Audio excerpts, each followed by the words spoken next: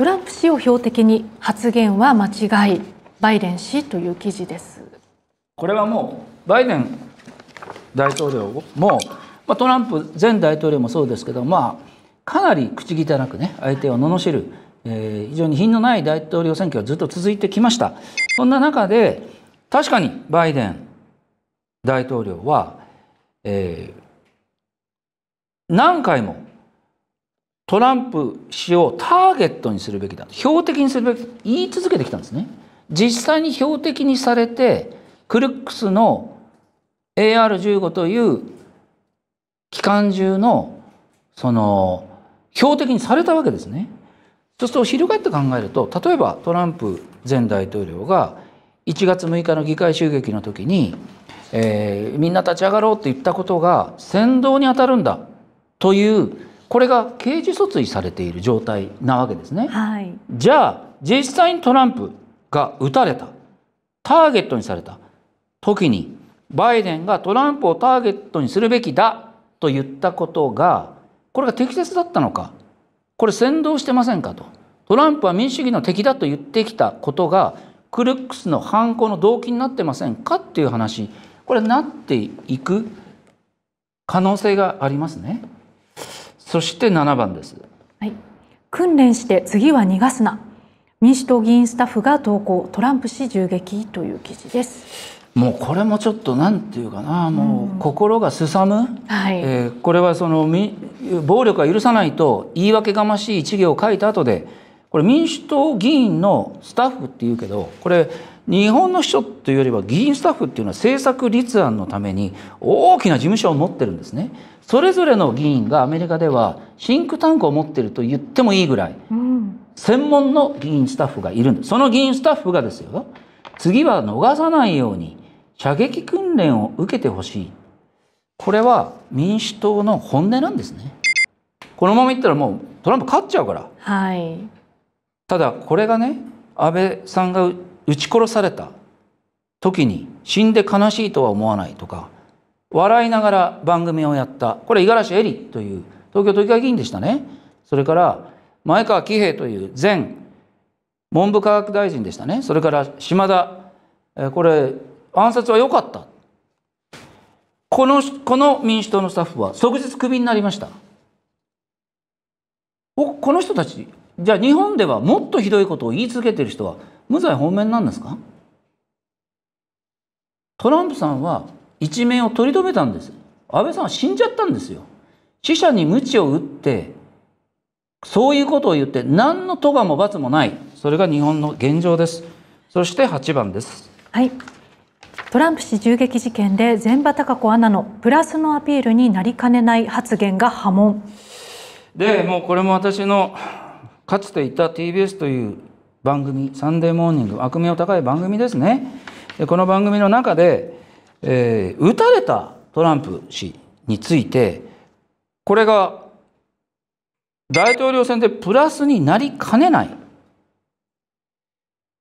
私はもう前場さんはね、えー、TBS 時代によく現場でも一緒になったし「ニュース2 3の時には私が政局の説明をしたりしたまあ真面目で、えー、その普通の人でしたよ。ただ TBS という会社に長くいるとやっぱり会社の雰囲気に応えようと無意識で思うんでしょうね。えー、ということは TBS という会社サンデーモーニング限らず TBS 報道局全体がトランプ嫌いだと。何だったら死んだ方が良かった。と先ほど私が紹介したような、まあ、人間のクズどもですね、それの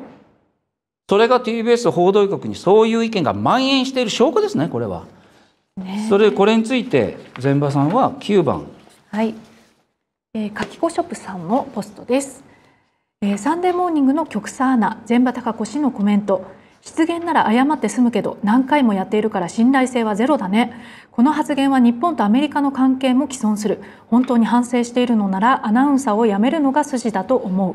まあ何言っても反安倍反トランプだったら許されるというのが日本の現状ですね。ただ私がここで注目しているのはこのやり取りを一緒にしていたのが薮中水戸次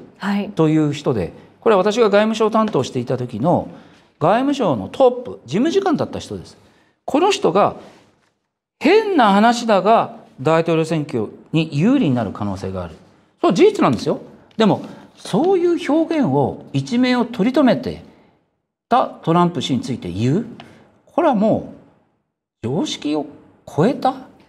変な話するなよっていう変な話をね。感じですよね。命かかってる話するなよ。うん。ということで日本のメディアがいかに狂っているか。これでよく皆さんお分かりだと思います。そして10番。はい、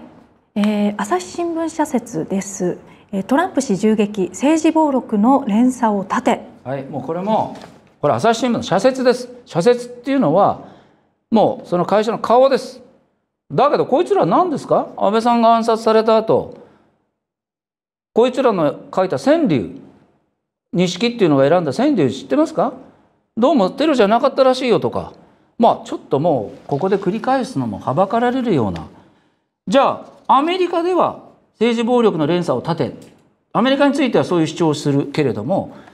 朝日新聞が気に入らない安倍晋三だったら死んだ後まで傷口に塩を塗り政治暴力の連鎖を先導してきたのが朝日新聞ですもうそして何の罰も咎もない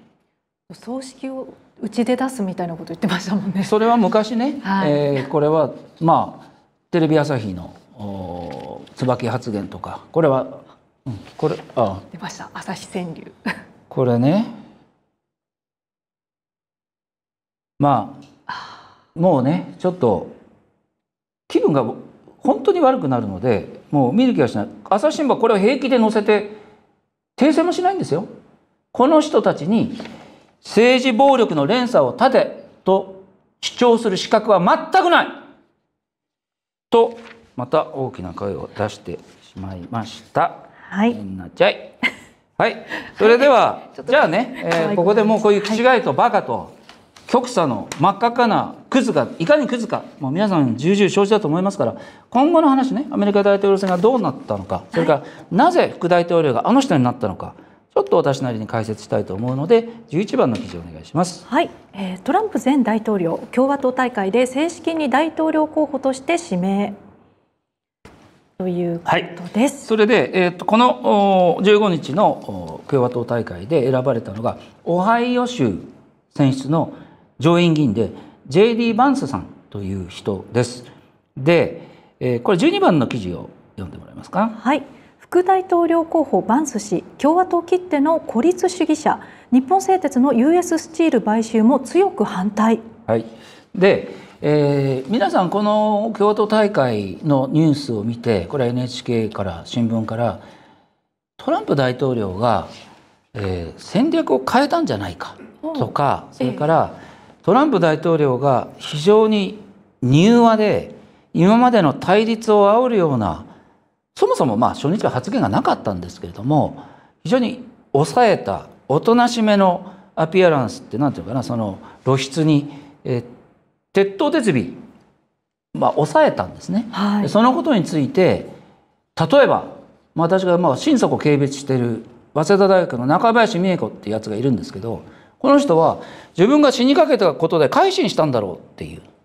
これもともと民主党日本の民主党にいたあー人ですよ。でその人がまあわ大学の教授をしてるんだけど、まあ、この人はもう頭おかしいですね。そうですね。ということを言うとまたいろいろ言わまたれるねちょっと問から題になりそう今のな発ギリギリの言はところですね。訂正しますけれども、はい。えー要するにね、えーまあ日本の大学からメディアまで、まあ、トランプ嫌いで言っとけば商売になるってことですね。で確かにトランプ大統領は共和党大会、まあ、撃たれてすぐ、えー平気にな、まあ、堂々と歩いて耳にね。はい。耳だって言ったって血まみれになって耳こうもげてるわけだから一部ね。それでもやっぱ強い男ですね。でもそこでその被害者ぶらずにやっぱり、えーアメリカを団結させようというメッセージを無言で発信したとみんなが受け止めてるんですね。うんで、うんそんな中でじゃあこの JD・ バンスってどういう人なんだろうはいなんでこの人が暗殺未遂の後選ばれたんだろうというのは僕は高度に戦略的だと思ってます。はいというのは、えー副大統領候補っていうのは他に何人か候補がいたんです。そして前日私がなんとなく狙撃の前日聞いていたのは別の名前なんですね。そうなんですか。わかんないですも。もともとこうだったという説もあるんですけれども、えええただこの J.D. バンスという人は非常に変わったというかこの人まず39歳、えうん。えー非常にお若いということそうするとまあバイデン大統領がもう老人性地方症なんじゃないかという疑惑でそれに引きずられる形でトランプ大統領も年齢は近いですから高齢であるということについてのまあ批判があるそういう意味では年齢としてはうまくバランスが取れてる選択なんですけれども、はい。ただ例えばバイデン大統領は高齢であるということだけではなくて白人男性であるということについてカマラ・ハリスという人を副大統領候補にして選挙戦を戦って一応勝ったことになってますね。うんそうすると選挙に勝ちたいということであれば自分にないものを副大統領に求めるその方がトータルでは強い、えー選挙戦が戦えると思いますね。はい。ところがトランプ大統領は若いけれども同じ白人男性を選んだうんうん。一部では黒人とか女性を選ぶんじゃないかという憶測もあったのに今回 J.D. バンスという人を選んだのは僕はこの銃撃、えー暗殺未遂によって自分の置かれた立場が大きく変化したということをトランプ前大統領が自覚していると思うんです。おどどう変わったんですか？今までは例えばあのボケたジョーとかねバカなバイデンとかそうやってこう、まあ、罵倒し続けるうん。でももうその必要がなくなったんですもう彼は勝者勝ったもうお国のヒーローになったわけですね。はい。この写真長尾さんのが言った。これはおそらく、えー歴史に残る教科書に載る写真でしょう。それが彼もよく分かっている。うん。だから彼は今後、えー例えばあのクルクト・ジョーとかそういう言い方を控えるでしょう。それはその必要がもはやないから。バイデンはもう全然かなわない強さ。それからこの卑劣な犯罪のターゲットになって生き残って立ち上がってるもうこれ以上のまああーアピールはないですね。もう勝負あった。だけど、だけどじゃあどうする？トランプ大統領がここまで共和党内の反トランプを抑え込んでまでここまで勝ち上がってこれたのはやっぱりアメリカの虐げられた白人男性うん。の叫びみたいのがトランプ支持の根幹にあるわけですね。はい。でこれは例えばラストベルトというその、まあ、五大湖周辺の自動車産業とか重工長大産業があったエリアの労働者白人の男性の労働者これが、えーまあ、経済的にも社会的にも非常に厳しい状況にこの20年30年置かれていたその最大の理由が近年のクリティカル・レイス・セオリー CRT というやつなんですね。はい。これは、えー例えば LGBT を推進する民主党とかがよく言うものなんですけれどもアメリカを悪くしているこれはプロテスタントの白人の男性なんだそれはアフリカから黒人を連れてきて奴隷にしたよねそれから、えーその例えば、えー女性を虐待してきたよね KKK みたいな組織を作って黒人を暗殺したよねこれをリードしてきたのは白人男性なんだという CRT という、まあ、そういう暴論がアメリカ中をばっこしているんですね今でも。でこれを主導しているのが民主党なんです。うん。だからトランプ大統領としては自分の支持基盤である白人男性虐げられた白人男性の支持は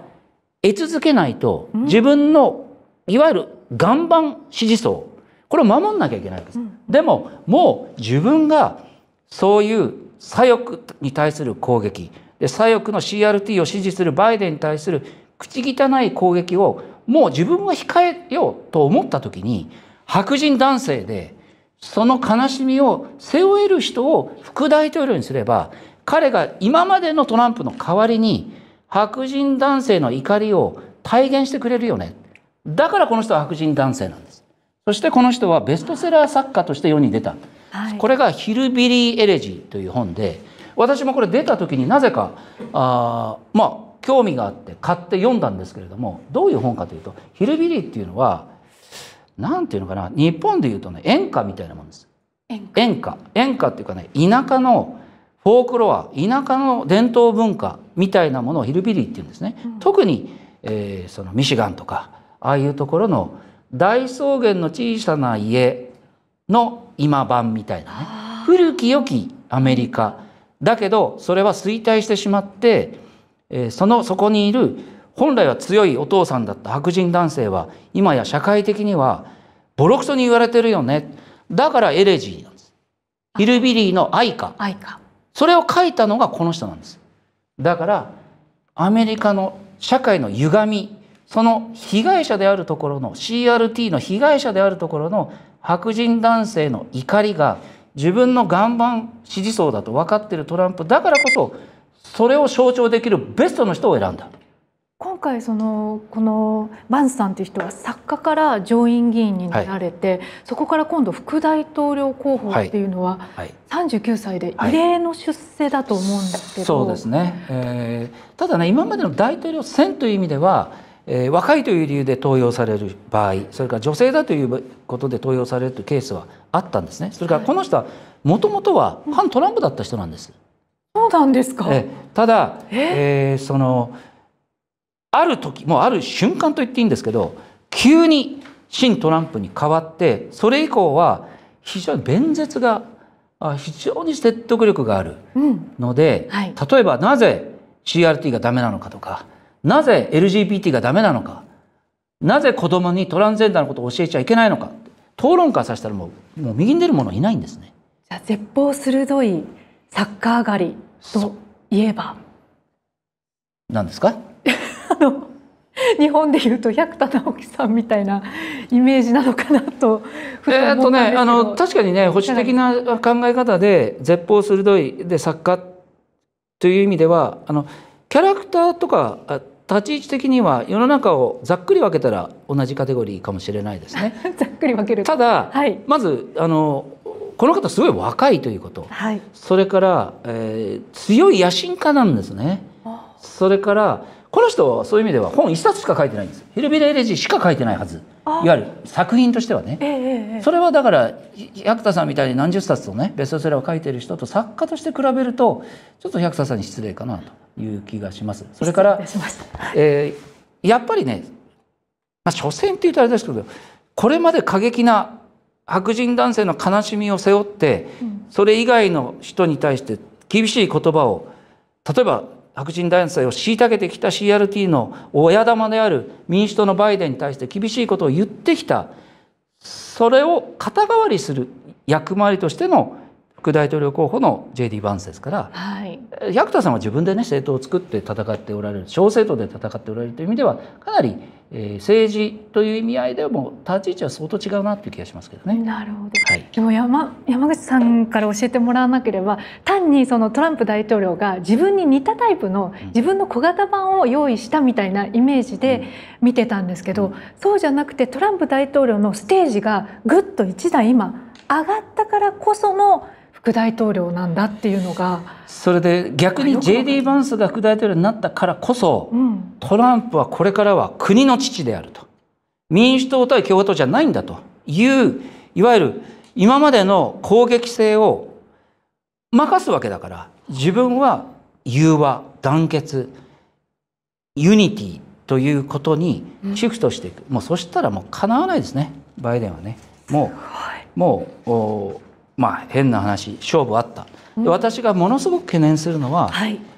ここから本気で暗殺を計画する人が出てくる可能性がある。なるほど。もう勝負あった。このまま大統領選やったらもう例えば民主党がミシェル・オバマとかジル・バイデンとかに差し替えたとしてももうトランプを破ることはできないでしょう。うん、とすればよりトランプが大統領になって困る勢力はトランプを暗殺するモチベーションが上がったとも言えますね。非常に私はそれを心配しています。はいはい。で、アメリカの話は、えーこのぐらいにするんですが、ちょっと愉快な日本のおじさんがこの件触れてるんで、ちょっと17番いってみましょうか。はい、えー、自民茂木氏トランプ氏こそタフという 産経の記事です。えー、とこれもね、えー記者会見なんですけどねこれまああやさんに読んでいただくのもあれなんであのこれ要するにね何を言ったかというとトランプ大統領と自分を比べてかつてトランプ氏から日米貿易交渉の際に茂木はタフだと言われたこともあるが今回の銃撃で耳を負傷しても拳を振り上げる様子を見てトランプ氏こそ本当にタフだと感じるこういうこと言わなきゃいいのにね茂木がタフだなんて思ってる人いませんよ日本に一人も。はい、大きいアメリカのあの中国の外相にシェイシェイって言った人ですよ。あの頼むからあんまり面白いことをねこういう大事な時期に言わないでほしい。どうしてこういう外したことを言うんだろう。言わなきゃいいだけなんですよ。本当ですね。茂木がタフだなんて思ってる人は自民党の中にも一人もいませんよ。態度が悪いっていう人はいます。はい、態度はタフですよ。特に自分の同期以下。もう人間扱いしませんからこの人は。ちょっとねパワハラ気質がパワハラったりしてましたもんでもパワハラとタフは違いますからね。はい、多分この人耳打ち抜かれたらのたうってはって逃げるタイプでしょうね。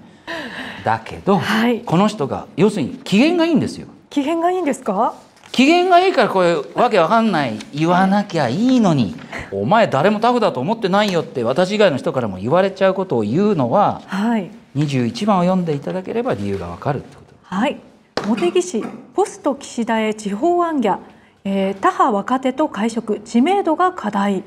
はい、えー、とこういうのは、えーもう岸田殺しというのがもう5月から始まってますよっていうのは私のもうずっと主張してきたことですね。はい。それでえー岸田さんはもう内閣支持率が3割を切って、えー事実上は2割も切った。もうこんな政権ってもう森政権以来ですね。もう自民党の中では岸田の下では総選挙戦えない。もうこれコンセンサスになってます。そこで、えーまあ6月あの令和6年6月6日の菅さんのダミアン会合。ダミアン会合。これここに呼ばれたのが、まあ、HKT 萩生田光一、えー加藤勝信武田良太に小泉進次郎。で本来はこれに、えー石破茂と河野太郎も、まあ、菅さんと近しい六人衆なのにこの二人呼ばれなかった。そこで、えー今政局的には菅さんは安倍さんの死を深く悲しんでいるとすれば安倍さんが絶対に総理にしちゃいけないと言っていた石破茂が河野太郎。これを押すことは安倍さんの意思を踏みにじることだと菅さんが思ってる可能性が高いわけですね。うん、そんな中ではい、じゃあだからその直後からダミアン会合の直後から呼ばれなかった石破さん河野さんは例えば河野さん麻生さんとか言って総裁で出たいんですって言ったりまあこれ記事読まないけど、はい。えー鈴木財務大臣のところに会いに行ったり鈴木財務大臣っていうのは麻生さんの親戚なんですね。うん、だからもう本人から色良い返事を得られなかったから今度は親戚を落としに行こうという。お年玉をもらいに行ってんじゃないんだからあんた。本当日本の政局っていうのは歪償で笑っちゃいますね。でそこで私が注目してるのは22番の記事なんです。はい、自民茂木氏3年以上やってはいけないという話してないネット番組の総裁任期言及にという記事です。それでこれはどういうことかというとちょっと私がさっき送った、えーこの前の記事これ7月16日の記事なんですけどこれねこれ12日の記事なんです、はい。12日のインターネット配信の番組で茂木さんですよ。茂木さんが自民党総裁の在職期間に関して3年以内がちょうどいいと主張したんですいやいいいいんですよ今。3年なんだから。言わなくていいんですよそんなことは。自分がタフだって言わなくていいのと同じぐらい言わなくてもでもこれをねタフだっていうのと違って意味があるんですよ。3年以内にこれをやりきると約束してできないぐらいだったら自分は続け続けませんという思いでやることだって言ったんです。これなんで何かっていうとはい、岸田にやめろって言ってるんですよ。あんた何にもねね。やることやってないでしょ？うん、だからやめてくださいって言ったんです。これはっきり言ってね党の幹事長がええ。これを言った僕はおそらくほぼ前代未聞と言っていい。ではい。これで炎上しちゃったからうんうん。22番の記事になるんです。まずこれありきなんです。3年以上やっていけないという話はしたりしてんじゃん。もう茂木さんももはやねいわゆるツッコミのいないボケ漫才みたいなやつですよね。一人乗り。かわいそうだから僕は突っ込んであげてるんですけど、はい。これ前の記事もう一回言ってください。要あこれです。3年以内にこれをやってできないぐらいだったら続けません。これどういう意味かというと総裁選に出るなと言ってるんです。これなんでだかわかります？えいやまあ自分の将来を考えて。ところがねこれもうちょもうちょっと戦略的な発言なんですこれは。あ。なぜかというとまず茂木さんというのは茂木派を解散しちゃいましたね。はい。だから今自民党にある派閥は麻生派1個だけなんです。うんうん。で麻生さんと茂木さんの関係がいい。しょっちゅう飯食ってますね。はい。それで麻生派の兵隊と茂木派の兵隊が「岸田やめろ」と「総裁選出るな」もうなんか「カエルの歌」の臨床みたいにうん交互に言ってますよね。はい要するに岸田降ろしを2人でやってる。ところが麻生さんという人は党の総裁が総裁選に出るときにその総裁に選ばれた幹事長が総裁選に出るのは人間のクズだという主張をそういうまあ仁義を大大切にする人だしかつて第二次安倍政権発足の時の総裁選に当時は谷垣さんという人が野党党首野党第一党の自民党総裁として総裁選にもう一回続投しようとした時に谷垣さんに選ばれた石原伸晃っていう人も自分も出たいって言った。その時に麻生さんは記者会見をして石原伸晃は人間のクズだ。総裁が出るのに幹事長が出るっていうのは明智光秀と一緒だと。逆進だっあて言ったんですね。はい。ということは麻生さんの支持がないと総裁選勝てない。茂木さんとしては9月の総裁選でうん。岸田さんに出られちゃ困っちゃうんですよ。麻生さんが応援できなくなっちゃうから。なるほど。これでもう一回ここを読んでみてもらえますか？この鍵括弧から。はい、えー、3年以内がちょうど良い。3年以内にこれをやりきると約束してできないくらいだったら自分は続けません。という思いでやることだ。と話した。2回読んでもらった意味わかりますか？もうもはや茂木さんはうん。あの M1 とかに出るといいと思いますね。こんだけ面白いボケる人っていませんよ。しかも見え見え。相当浮き足立っちゃってる感じ。これをそのまあちょっと政治永田町ではええちょっといやらしい性的な表現をするんで私が言うと問題になるんで言いませんけどまあ興奮しちゃってるんです。興奮してねいろんな液体を飛ばしちゃってるっていう状態なんですね。もう言っちゃってるけど。だけどまあ今ね暗いニュースが多い。それから世界情勢も非常に緊迫している。イランの大統領選とかねもう時間ないから触れませんけど、えーイランはい。それからウクライナ、ウクライナ。ウクライナに岸田文雄は14兆円からの10年間でね極秘日本国民に何の説明もしないで少なくとも今年7000億円出すということ。これをアナウンスしてないんです。もうね暗いニュースが多い中でちょっとまあ滑りまくってる漫才師みたいに思って茂木さんでこう暑い夏を笑って過ごす。そんな風なまあ意味性はほとんどないんですけど、はい。まあ枠組みが分かるとより面白いという意味で、えーちょっとこの夏はね茂木さんでちょっと暑さをしのぶそうしない ちょっと笑ってしまう。一休みそれ以外笑えない話ばっかりだから。はい。14兆円から、ね、トランプ中東まで。はい。まあそんなことで、えーね、僕のこういう番組は怒ってばっかりなんですけどちょっとこう心温まるボボケ漫才滑りまくりみたいなハ話でートウォーミングなハートウォーミング時間ですね心温まるボはいケ漫才もたまにはあるよということで、まあ、時事ニュースを楽しんでいただけたらと思います。はい。ということで インテリジェンスアイの一般公開ライブはここまでとなりますがこの後は有料会員向け動画ですね山口先生今日もありがとうございました、はい、失礼いたしました。ありがとうございました。